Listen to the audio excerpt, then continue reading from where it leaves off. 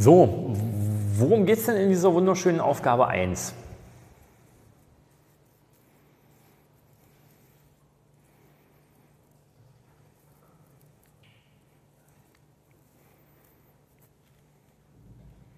Sag mal, erzähl mal.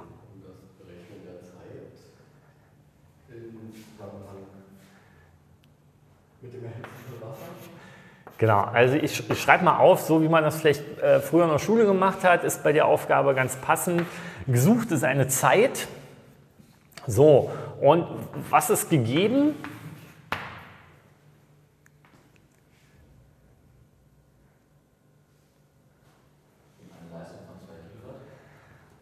Okay, also Leistung ist Englisch Power, kriegt ein großes P als Formelzeichen und das sind 2 Kilowatt.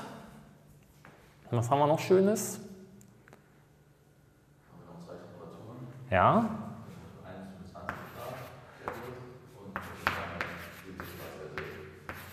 So, also Temperatur kriegt ein kleines, wie heißt dieser schöne griechische Buchstabe hier? Ein Theta, ja, Theta für Temperatur. Ähm, also wir erwärmen was von 20 Grad Celsius auf 70 Grad Celsius. So, und Genau, das könnten wir daraus schon mal ausrechnen. Ja, also könnten wir sagen, Delta T sind 50 und weil man Temperaturdifferenzen und absolute Temperaturen ganz gern in Kelvin angibt, schreiben wir da Kelvin hinter als Einheit. So, und was wird jetzt erwärmt um 50 Kelvin? Ein Liter Wasser. So, also ich schreibe mal hin, Volumen ist ein Liter und es handelt sich um Wasser. Naja, und Wasser hat eine Dichte, äh, die könnte man mit so einem kleinen Rho bezeichnen ähm, von 1 Kilogramm pro Liter. Ja, und dann könnte man daraus scharf schlussfolgern, dass die Masse von diesem 1 Liter Wasser eben auch genau 1 Kilogramm ist. Ja, man, könnte man jetzt auch ausrechnen, wie man eben sagt, okay, ne, die, die Dichte ist Masse pro Volumen wenn man die Formel jetzt in Richtung der Masse umstellt, ähm, also das Volumen hier wegkriegt, wie kriegt man das Volumen weg auf der Seite? Mit, mit dem Multiplizieren, ne, weil dann kürzt das auf der Seite weg ähm, und dann hätten wir hier eben das Volumen auf der anderen Seite mit dran ähm, Dichte mal Volumen und, ja, und dann kann man das einsetzen ähm, und dann kürzen sich da relativ schnell die Liter weg und es bleibt das eine Kilogramm über. Okay. So, und was haben wir noch gegeben als letzte Größe?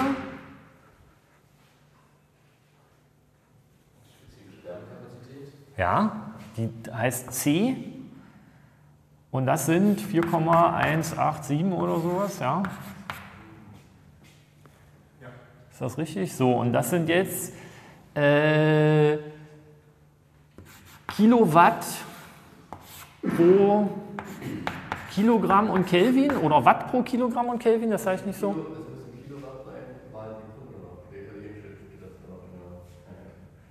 Ja, aber was steht denn im Aufgabenheft hier für eine Einheit? Ja, okay. Also wenn ich 4,187 schreibe, dann ist es mit, mit Kilowatt, richtig? Ja, sehr richtig. Okay. So, also haben wir jetzt mal so ein bisschen aufgeschrieben. Ähm, wir haben ein Liter Wasser. Das eine Liter Wasser wird erwärmt von 20 Grad Celsius. Das ist vielleicht so die Temperatur, mit der äh, das Wasser aus dem Wasserhahn kommt, auf 70 Grad Celsius, weil man sich mit 70 Grad Celsius Wasser vielleicht ähm, einen Tee kochen kann oder so oder einen Kaffee, ein Heißgetränk. Meint schon ein bisschen kalt. Hat auf jeden Fall nicht mehr 70 Grad. Ja, also mal, und ein Liter ist eben so eine Kanne Tee, eine kleine. Ähm, und was, hat, was könnte ungefähr eine Leistung von 2 Kilowatt haben? Ja, also ein normaler Wasserkocher, den man so irgendwo so zu stehen hat. Ja. Also wenn das jetzt, das ist aber schon ein großer und ein guter. Ähm, so. Okay, und jetzt haben wir da noch so eine spezifische Wärmekapazität von Wasser und haben jetzt schon ausgerechnet, dass eine Liter Wasser auch ein Kilogramm als Masse hat. So, und wir wollen jetzt wissen, wie lange dauert das, dieses Wasser mit so einem Wasserkocher zu erwärmen. Jetzt kann man, und das sollte man bei vielen Aufgaben auch immer mal ganz gern machen, äh, sich natürlich mal so überlegen, naja, jetzt so subjektiv aus dem Bauchgefühl, wenn ich jetzt mal so eine Antwort schätze, was könnte, sollte, dürfte, müsste denn da so ungefähr rauskommen? Also, so, ne, also ich meine, wir werden auch viele andere elektrotechnische Aufgaben haben, wo man eben kein Bauchgefühl mehr hat, aber das ist jetzt noch eine relativ praktische, lebensnahe Aufgabe. Ähm, und ich, ich, hoffe, es hat jetzt noch, noch niemand im Hintergrund schnell gerechnet, aber so, was wären jetzt so die Schätzungen für, wie lange dauert das?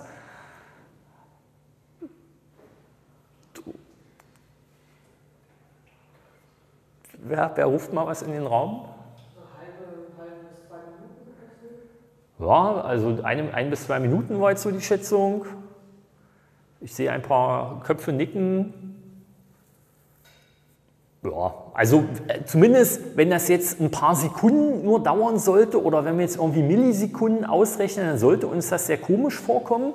Genauso, wenn das jetzt irgendwie Stunden, Tage, Wochen, Monate dauert, sollte uns das auch sehr seltsam vorkommen. Ja, also irgendwas so im Bereich einiger weniger Minuten klingt jetzt für dieses Problem äußerst plausibel. So, okay. Na gut, gucken wir mal, ob wir da irgendwie hinkommen. So, jetzt natürlich die nächste große Frage, wie rechnen wir das jetzt aus?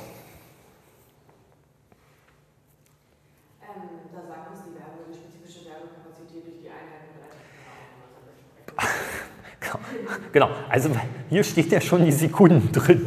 Ja, so. Genau, und also eigentlich, eigentlich, wenn wir jetzt so äh, scharf Schlussfolgern, ja, können wir da oben dieses C nehmen. Ja, und das C hat ja schon diese Einheit Kilowatt Sekunden pro Kilogramm und Kelvin. Das heißt so, also wenn wir jetzt das hier nehmen, das mit irgendwas multiplizieren, was die eine Kilogramm hat, fallen die Kilogramms weg. Wenn wir das mit noch mit was multiplizieren, was die eine Kelvin hat, fallen die Kelvins weg. Und wenn wir das durch was teilen, was die eine Kilowatt hat, dann fallen auch die Kilowatts weg. Dann sollte nur was überbleiben, was die Einheit Sekunden hat und das sollte die Zeit sein. So, können wir mal so aufschreiben, also wenn wir halt rechnen c mal, mal m mal das Delta t, ja, geteilt durch äh, die Leistung, dann sollte da die Zeit rauskommen. So. Und naja, ich meine, können wir jetzt ja mal machen. Ähm, setzen wir das da ein. Ich habe natürlich auch wieder keinen Taschenrechner mit, aber wird ja bestimmt hoffentlich jemand haben. Also 4,8187 so, ich schreibe mal die ganze Einheit hin. Kilowatt Sekunden. So, das jetzt noch multipliziert mit dem 1 Kilogramm, das ist ja einfach.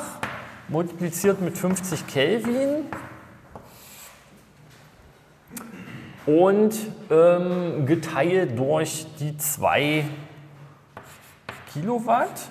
So, und hier bei der Einheit gab es ja auch nochmal Kilogramm und Kelvin. So, und dann nehme ich mal eine andere Farbe. Kürzen sich ja hier die Kilowatt weg und es kürzen sich die Kilogramms weg und es kürzen sich die Kelvins weg, so wie wir das schon geplant haben. Und es bleiben Sekunden über. Und äh, ja, jetzt kann man hier versuchen, so ein bisschen im Kopf zu rechnen. 25 durch, äh, 50 durch 2 sind 25. Und 25 mal 4 sind eben 100 und es sind ja mehr als 4, also kommt ein bisschen mehr als 100 raus. 104,65. So, und dann kommen da raus, äh, oh, ich schreibe das mal hier, ja, schreibe ich noch hier hinter, ähm, 104, äh, 6, So, und du hast, glaube ich, vorhin gesagt 675 so, Sekunden. So, okay. So, Okay, dann können wir den ersten Check machen. Ähm, entspricht das unserer Intuition, die wir vorher so hatten? Ja, also weil das wären ja ähm, ein bisschen mehr als eineinhalb Minuten, oder? Ja, ähm, ein, ein und eine Dreiviertel Minute, wenn ich jetzt so richtig rechne. Und das klingt absolut plausibel für, ich nehme Wasserkocher, kippe da einen Liter Wasser rein, drücke auf an, warte bis das 70 Grad hat. So. Ähm, was man sich jetzt natürlich irgendwie noch überlegen könnte, deswegen habe ich jetzt auch nochmal gefragt mit den Nachkommastellen. Also klar, das ist das, was da rauskommt. Man könnte jetzt noch wahrscheinlich ein paar mehr Nachkommen, die könnte man gar nicht, weil das ist ja auch nicht genauer gegeben. Ähm, ist jetzt halt die Frage, also muss man das so genau angeben? Sollte man das so genau angeben? Also Schaden tut es definitiv nicht, aber so richtig wahnsinnig sinnvoll ist es eben auch nicht, ähm, weil, also warum machen wir denn so eine Rechnung? In vielen Fällen, um uns eine Messung zu sparen. Also wir könnten jetzt auch einen Wasserkocher nehmen, die Leistung messen ähm, oder gucken, dass der irgendwie 2 Kilowatt hat. Ja, also wenn wir jetzt wissen wollen, hier ein Wasserkocher, wie lange braucht der, um einen Liter Wasser zu erwärmen? Ja, bräuchte man eine Stoppuhr, irgendwie ein Thermometer und dann könnte man diese Zeit ja auch durch ein Experiment ermitteln ähm, und nicht durch diese Rechnung hier. So, wenn man das jetzt durch ein Experiment machen würde, ja, was für eine Genauigkeit würde man dann wohl so in etwa hinbekommen?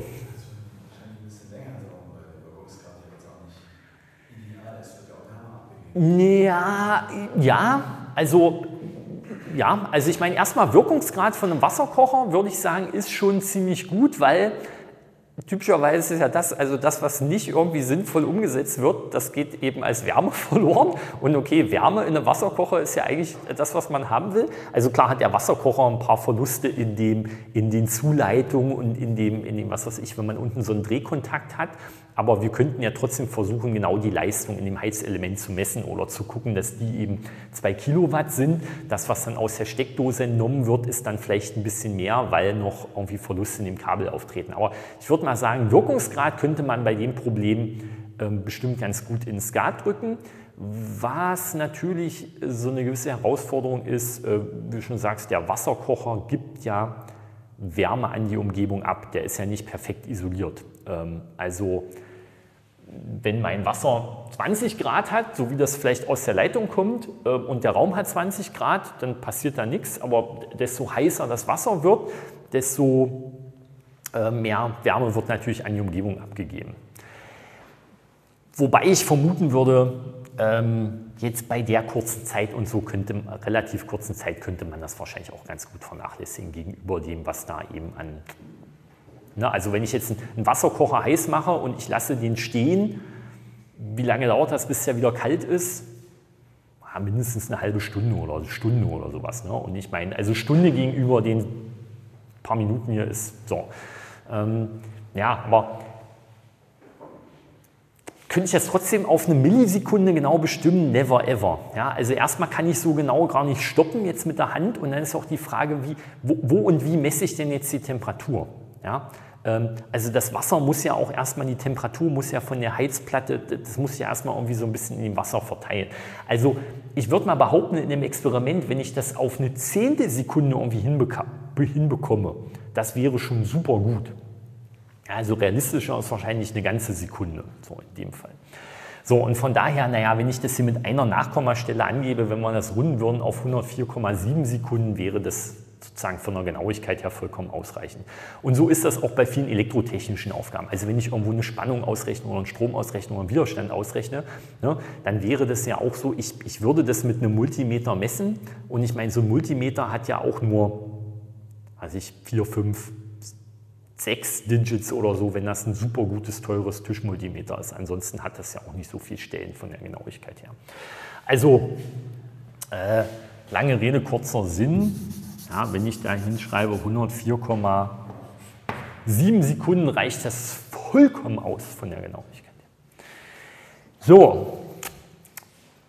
Ähm, dann was man an der Aufgabe auch irgendwie noch ganz gut diskutieren kann, ist, dass es auf jeden Fall total schlau ist, eben, du das schon gemacht hast, auf die Einheiten zu gucken, weil sich aus den Einheiten manchmal ganz viele Sachen ergeben. Ja, und, und, und eben, ähm, also mit den Einheiten zu rechnen, was man ab und zu mal ganz gern sieht, ist, dass Leute ähm, irgendwie eine Formel hinschreiben, dann die Zahlenwerte einsetzen, aber komplett ohne Einheiten dann kommt irgendein Ergebnis raus und dann schreiben Sie am Ende wieder die Einheit hinter, die, die irgendwie rauskommen sollte. Oder man macht vielleicht noch eine Einheitenprobe, aber sozusagen die Rechnung ist hier und die Einheitenprobe macht man irgendwo da drüben und wenn man zwei Wochen später drauf guckt, weiß man schon auch selber nicht mehr ähm, oder zwei Minuten später, welche Einheitenprobe jetzt mal zu welcher Rechnung da so gehörte. Also Zahl und Einheit gehören zusammen. Ja, und äh, man kann die Einheiten, man sollte die Einheiten direkt in, in der Formel verrechnen um zu gucken, dass am Ende auch die richtige Einheit rauskommt. Ähm, jetzt haben wir natürlich hier uns so ein bisschen so eine self-fulfilling prophecy gebastelt, weil wir haben ja die Formel nur anhand der Einheiten erstmal zusammengebastelt und dann sollte natürlich am Ende auch die richtige Einheit rauskommen. Wir müssen vielleicht gleich nochmal gucken, dass wir auch auf andere Art und Weise auf diese Formel da kommen.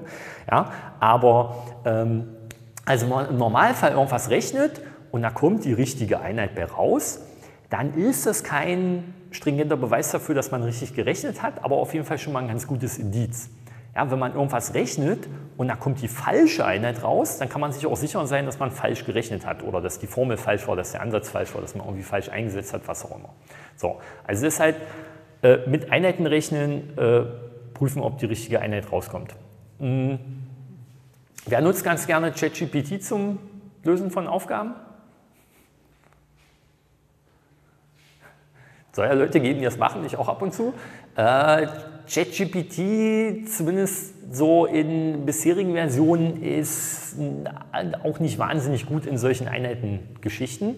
Also das macht das meistens so, schreibt die Formel hin, dann setzt es irgendwie Zahlenwerte ein und am Ende schreibt es die richtige Einheit hinter. Also in der Zwischenrechnung fehlen meist die Einheiten. Ähm, und wir haben seit diesem Semester auch in Magdeburg ein neues einen neuen Studiengang ähm, Engineering Science, einen englischsprachigen Studiengang. Und für den habe ich dann mal so englischsprachige Grundlagenliteratur recherchiert. Und da stellte sich heraus, dass es super viele englischsprachige Bücher gibt, in denen das genauso ist. Also da steht eine Formel, dann werden Zahlenwerte eingesetzt, am Ende wird die richtige Einheit hintergeklatscht. Was prinzipiell falsch ist. Ja? Also wenn ich hier die Einheiten weglasse und hier schreibe ich eine Einheit hinter, dann gilt einfach diese mathematische Äquivalenz nicht. Das ist so das also, ist, also hier die Einheiten weglassen ist kein, ist kein Schönheitsfehler oder Flüchtigkeitsfehler, es ist einfach faktisch mathematisch falsch, das so zu tun. Ne? Weil ähm, eine Zahl ist eben was anderes als eine Zahl zusammen mit einer Einheit. Das muss man vielleicht so ein bisschen so im Hinterkopf ähm, behalten. Naja, und auf jeden Fall, wo hat ChatGPT daraus gelernt aus vielen Büchern, wenn in vielen englischsprachigen amerikanischen, äh, angloamerikanischen Büchern oder aus diesem Sprachraum das so sozusagen falsch ohne Einheiten drinsteht, dann hat es das halt von da gelernt, dummerweise. Okay. So, na gut, dann wäre so das Letzte, was wir jetzt irgendwie uns überlegen könnten, wie könnte man denn jetzt auch auf diese Formel hier so Stück für Stück für Stück kommen, ohne sich das aus der Einheit der spezifischen Wärmekapazität zusammenzubasteln.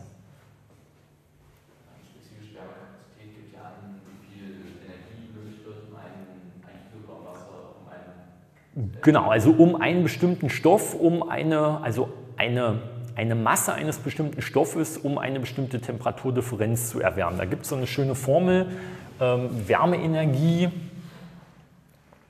äh, die können wir E nennen für Energy oder auch Q für weiß nicht was, auf jeden Fall für Wärme. Und das ist M mal C mal Delta T. Ja, findet man so in Formelsammlungen. Richtig? Ja. So, okay, dann haben wir Energie. Also jetzt haben wir ja auch schon irgendwie das und das und das benutzt. Ähm, jetzt fehlt uns ja irgendwie nur noch die Leistung. So, wie hängen jetzt Leistung und Energie zusammen? Genau, Leistung ist Arbeit pro Zeit und Energie pro Zeit. Also P ist E durch T. Also zumindest wenn man sagt, ne, über einen bestimmten Zeitraum ist diese Energie ähm, umgesetzt worden. Ja, sonst, wenn man so eine Momentanleistung, das wäre jetzt sowas wie so eine Durchschnittsleistung, ganz allgemeiner würde man das vielleicht mit einer Ableitung schreiben, dI nach dt, dann kommt da eine Leistung bei raus. So, also auf jeden Fall können wir jetzt die Energie ja mal hier einsetzen. Und dann kommt da raus, P ist m mal c mal Delta Groß T durch Klein t. Und können das nach der Zeit umstellen. So, und wie stellen wir das nach der Zeit um?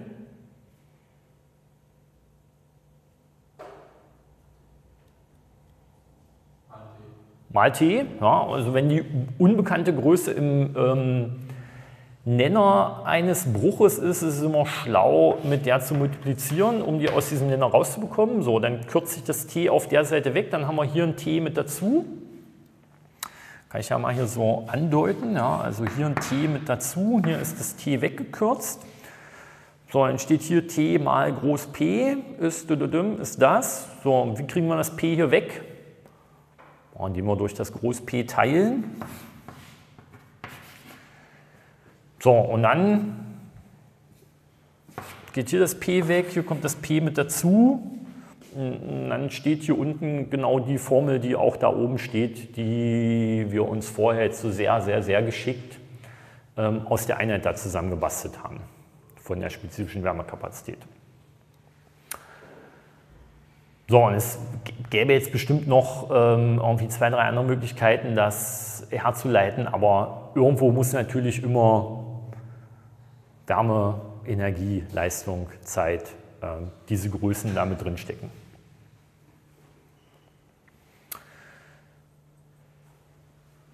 So, und zusammenfassend ähm, und vielleicht noch, also jetzt nicht super spezifisch zu dieser Aufgabe, aber so ganz allgemein, also ähm, worauf es bei solchen Aufgaben ankommt, ist natürlich nicht das Ergebnis. Also im Prinzip ist es vollkommen egal, ob jetzt hier 104,7 Sekunden rauskommen oder nicht. Ja, also klar, wenn ich ein bisschen was an den Zahlenwerten ändere, kommt hier unten eben ein anderer Wert raus. Ähm, also das Entscheidendere ist natürlich, dass man verstanden hat, also es, es, geht nicht, es kommt nicht auf das Ergebnis prinzipiell an, sondern auf den Prozess. Ja, also man sollte ungefähr verstanden haben, wie man an solche Aufgaben rangeht, wie man sowas rechnen kann. Ähm, ja. Und nochmal so kurz zusammengefasst, was man jetzt hier irgendwie schön demonstrieren konnte, ist, ähm, mal am Anfang über Größenordnung nachdenken, ja, was sollte ungefähr so rauskommen bei solcher Aufgabe, ähm, auf die Einheiten achten, ähm, Ergebnis irgendwie sinnvoll runden und es gibt formeltechnisch immer mehrere Wege und Möglichkeiten, hier bei solcher Aufgabe zum Ziel zu kommen.